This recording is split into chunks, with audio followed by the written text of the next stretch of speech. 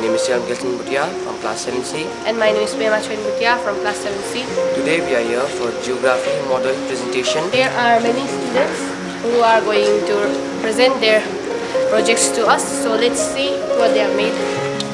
So here we have Priyanjani Gurung from 7A to come and show us her project to us. Good morning everyone, my name is Priyanjani Gurung from class 7A and I'm here to present my model. The topic of my model is windmill.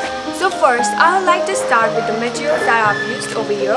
So as you can see, at the bottom I have used a plywood and above that I have stuck a thermocol which I have colored with green color and above here I have constructed two houses which I have painted with two different colors and that is pink and orange. Now you can see I have made a people fan which indicate that this is a windmill. So now I'm going to start with my explanation. So now what is a windmill? A windmill is a machine that harnesses the power of the wind.